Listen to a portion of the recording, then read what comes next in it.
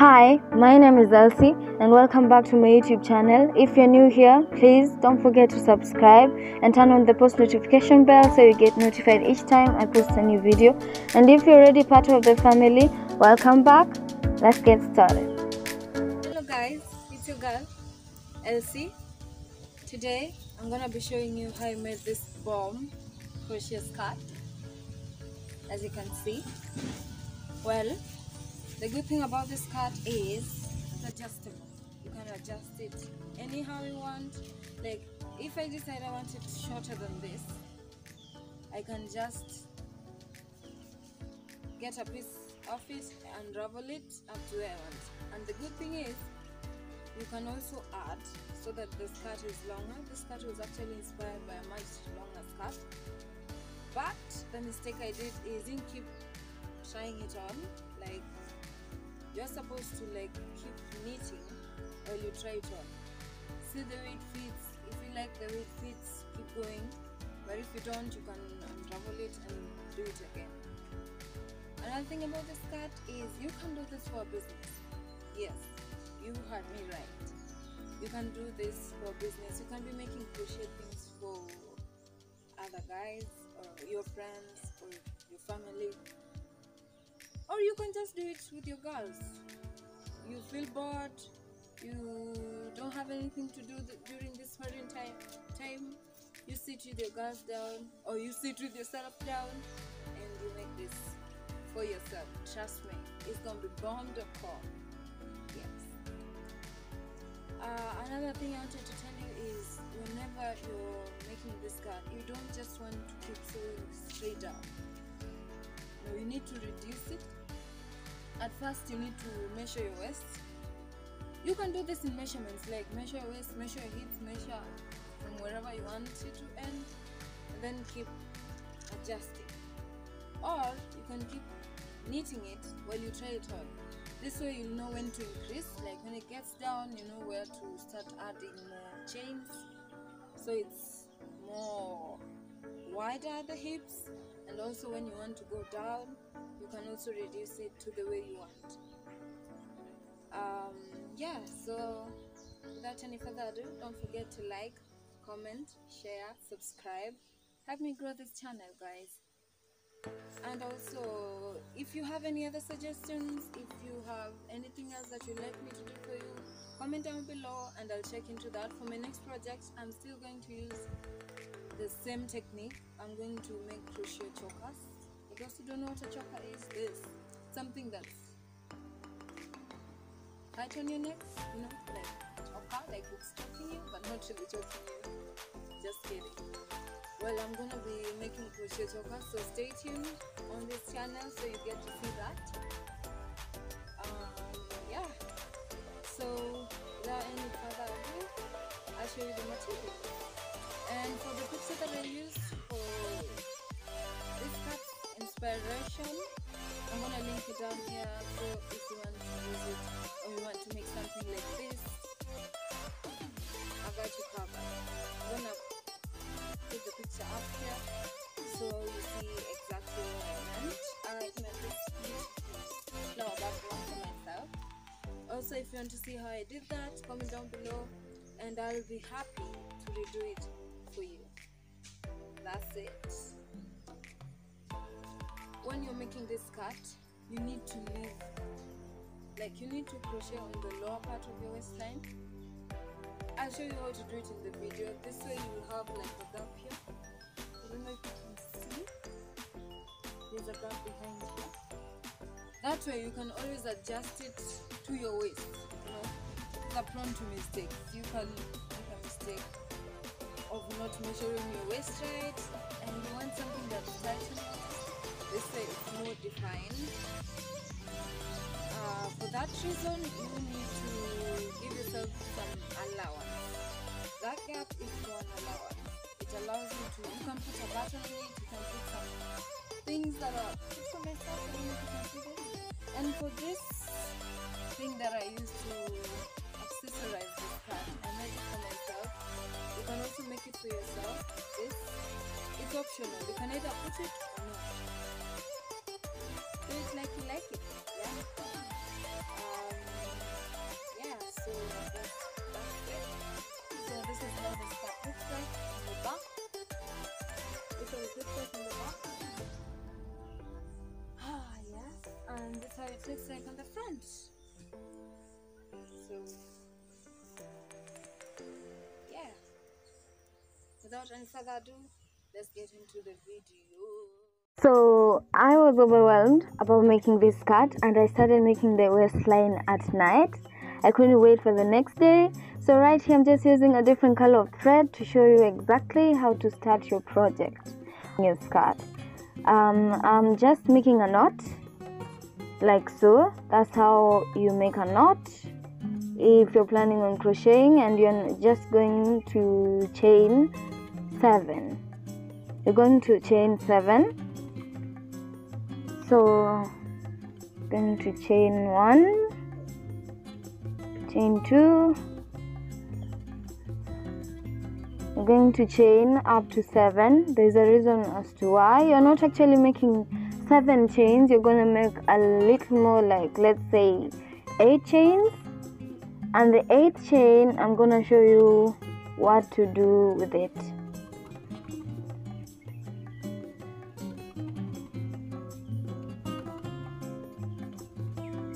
so that's exactly what I'm doing. I'm making seven chains. And when you get to the seventh chain you're going to make the eighth chain but you're not going to crochet into that chain. You're going to miss that and crochet into the next chain which is the seventh one. This is going to give your skirt the foundation if I'm making any sense. um, it's gonna give it that straight line that you need.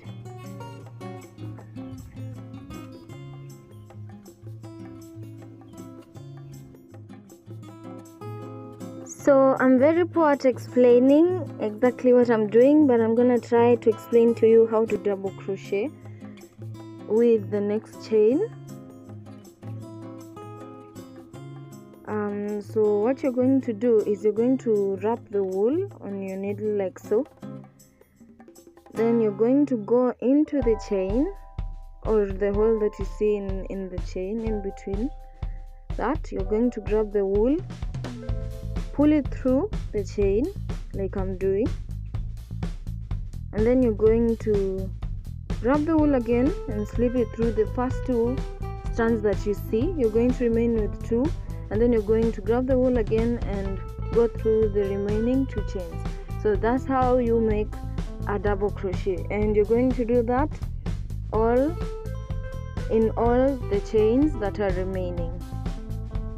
So yeah you pretty much do the same thing. Grab the wool and the needle grab the chain from the back pull it through grab the wool pull it through the first two strands grab the wool again and pull it through the remaining two strands I don't know if I'm making any sense, but if I'm very, I'm very poor at explaining what I'm doing, so I guess you'll just see.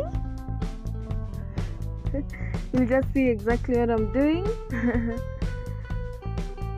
um, yeah, you're pretty much repeating.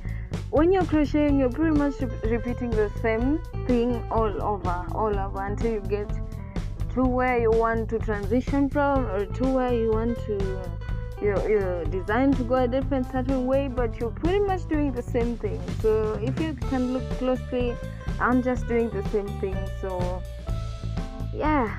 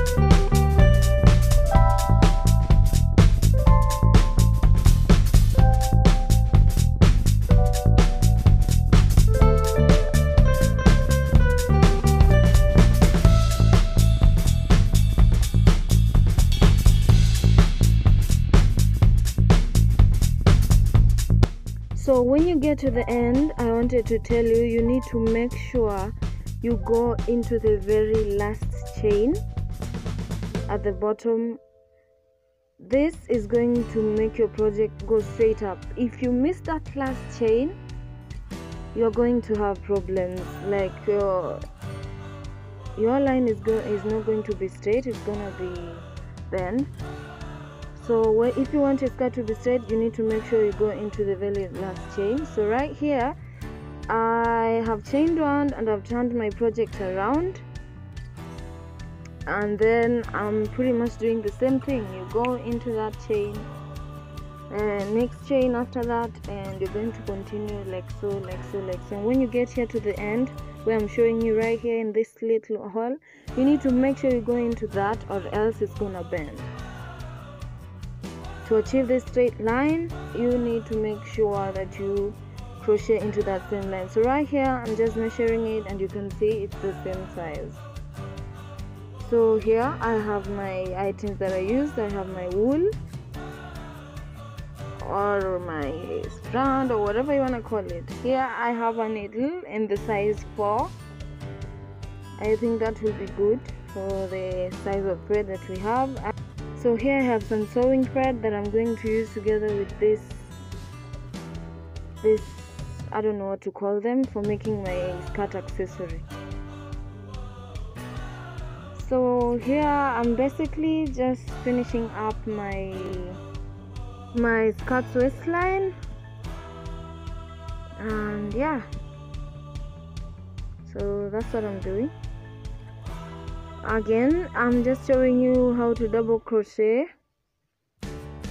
This is the final two holes you're going to go into that. Through that I mean. Yeah. This is that place I was telling you about. You have to make sure you go into this for your skirt to be straight down or else it's going to bend. And you don't want your skirt to bend. You want your line straight. So make sure you go into that. Like I'm doing I go through I grab the wool go through the first two wool uh, the first two strands and again go through the last two strands.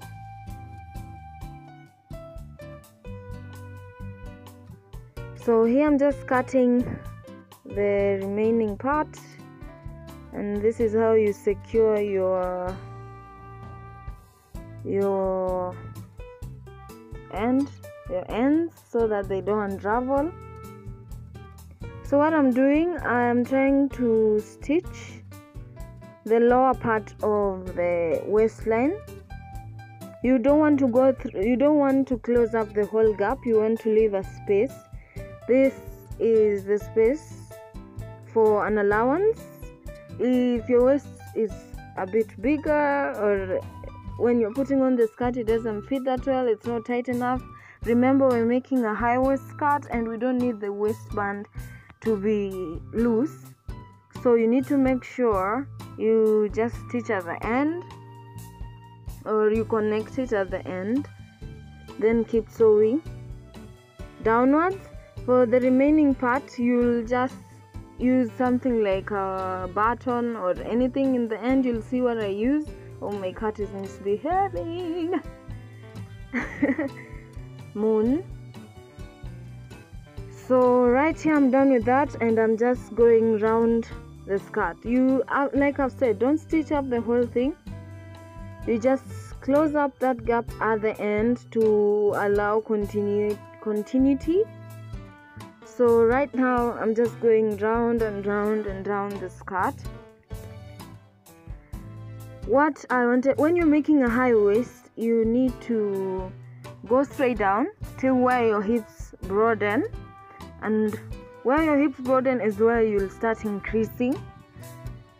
This will help with the tightness at the waist.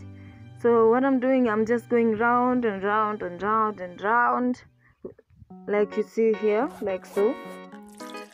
I just switch round and you can see at the end here uh, the gap is still there. That's the gap the one that I told you you'll use a button or anything that you have a clip to lock it up. So right now i'm just basically double crocheting all the way through all the way through. So here you grab the wool go into the chain you're going to have three strands like this. You're going to grab the wool go through the first two strands like so.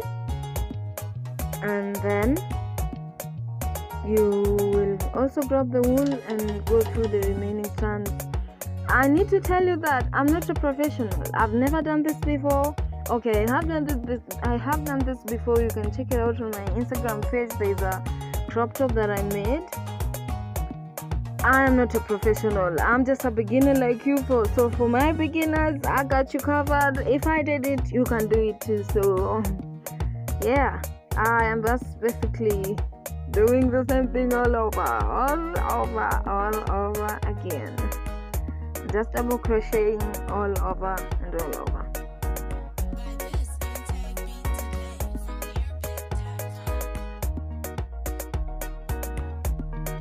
So right here this is how the waistline looks like after I've double crocheted on the last or on the chains at the bottom of the waistline. This is how it looks like after going for yeah making. This is how it finally looks like when it's done. So you're going to go straight down. You're going to repeat the same thing straight down no increasing no decreasing then after going straight down that's when you're going to open up the increasing. I'm going to show you that. You increase down and there's a place when you're finally happy with the way it looks like around your waist. Please do this while you try it on. If you are happy with the way it looks like you'll um, you'll start downsizing that is decreasing the number of chains. I'll show you exactly how to decrease. And you only increase on the sides and also decrease on the sides because that's exactly where you want. So right here i'm just preparing for my next double crochet. I am chaining three like you've seen. And then i'm just double crocheting all the way all the way. You're going to do that all the way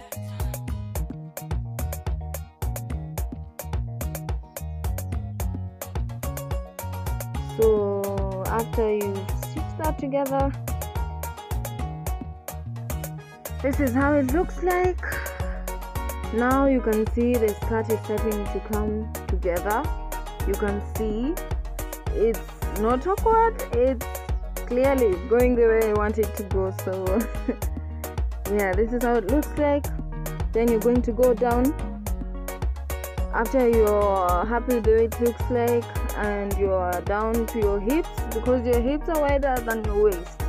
So when you are down to where you want to start increasing to accommodate your hips you're going to start increasing from then on. And then keep going. After you've increased you're going to go straight down to where you'll start decreasing from where you'll be happy to decrease from. I don't know if I'm making sense, but you will get it. You'll just see what I'm doing.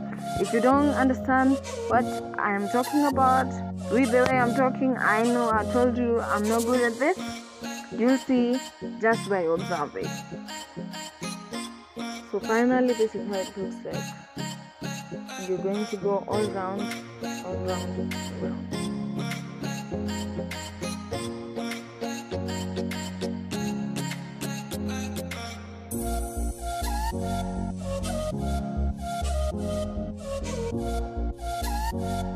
So as you can see the skirt has started coming together. You can see it started progressing downwards.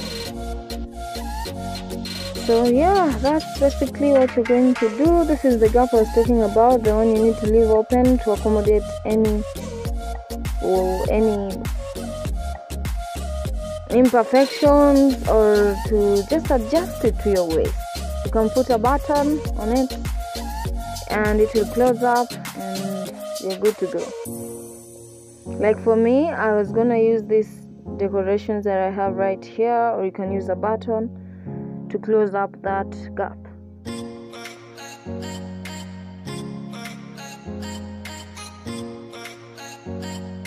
So after sewing for some time this is how the skirt looks like. I'm basically just going through the same thing double crocheting all the way all the way all the way and yeah as you can see the skirt has started coming together and it's progressing you can see how it fits you can try it on and decide how it fits. If you like the way how it fits you keep going. And if you don't this is where you have that time to try it on and unravel and make changes. If you know how to make any other designs you can do that. Um, so yeah this is how it looks like. Uh, this is the back this is the front. And you can see the skirt has started elongating downwards. Uh, yeah. This is what I wanted to talk about. I have come to that place where I want to start increasing so I am just marking the sides of my skirt. I'll tell you why Uh, I just put some thread to mark the area and tell me exactly where I need to be increasing. So I have put it this way I just when I'm increasing I just I don't know how to tell you this but I somehow just follow the line from where the mark is going up. This is where my mark is so I'll just follow that line straight down to where I want to start increasing and that chain where I have just pointed is where I'm going to be increasing. When you're increasing you're basically just double crocheting twice or thrice or whatever times you want in that same chain that you want to increase from I don't know if you get what I mean. I'm gonna try to see if I can explain to you exactly what I mean. But right here, as you can see, I'm going to show you how I increase. Um, I'm going to double crochet twice in the same chain, in the same hole or in the same chain. I hope you get this so if you can see this is where my mark is and I'm going to go straight up to where I am supposed to be increasing from. So I'll increase I'll, or I'll double crochet twice in that chain in that same chain before I move forward to the next chain. So here is how the skirt looks like this is how the waistline looks like. This is how the hips looks like. As you can see it's broadening at the hips and then it's reducing as you go down. For some reason i don't know what miracle happened. I didn't really need to decrease my skirt because it was going the way I wanted. Like, okay, I went straight down from my waist to where I wanted to start increasing from, and then I increased from then on. And as I was going down, I somehow realized that my skirt was decreasing itself.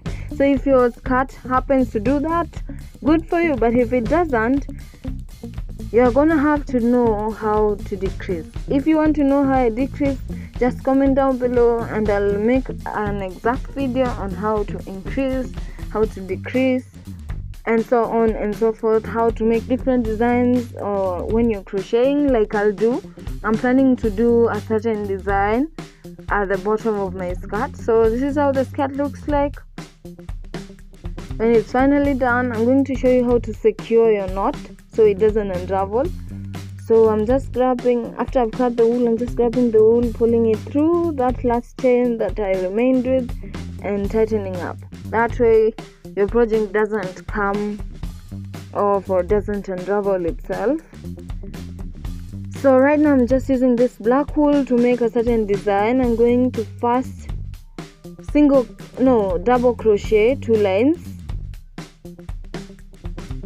like so. I am going to double crochet two lines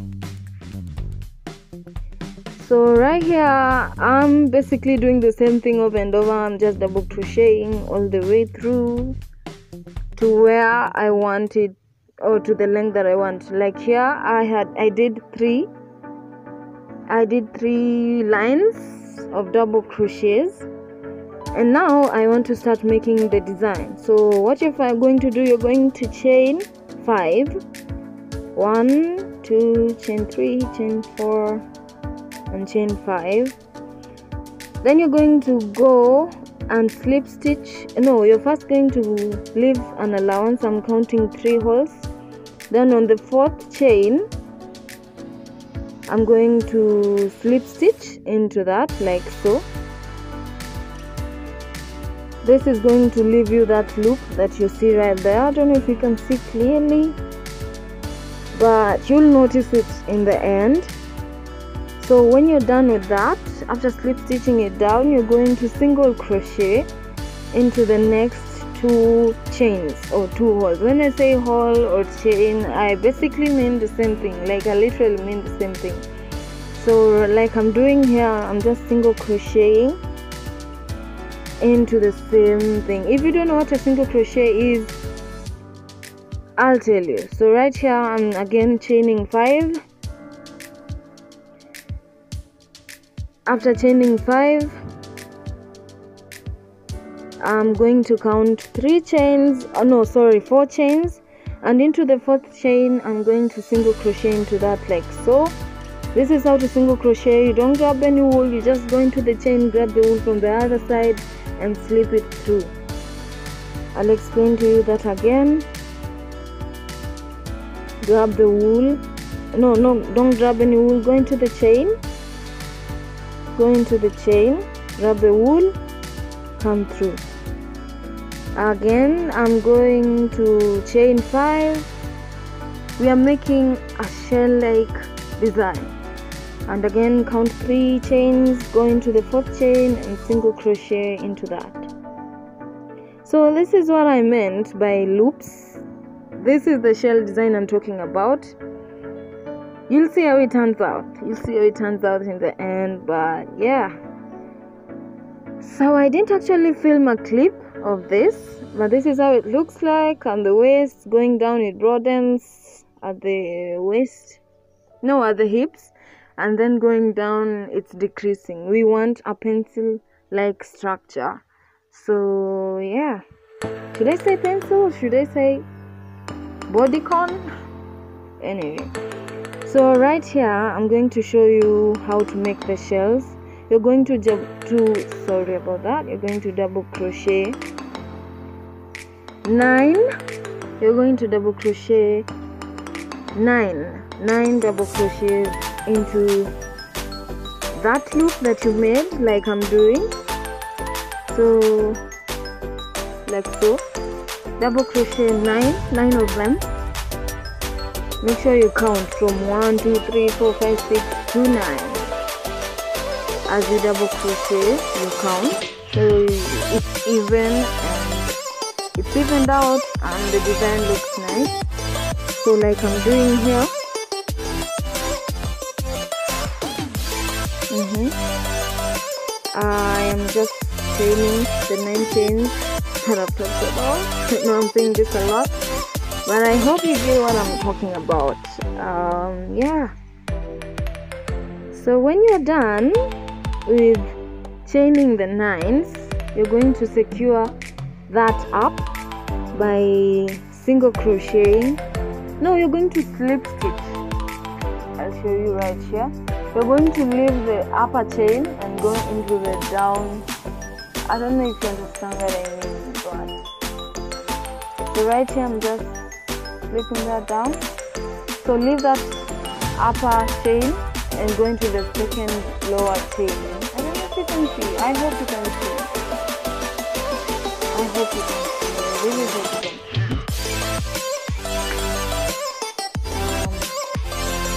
So yeah we're basically going to single crochet all the way.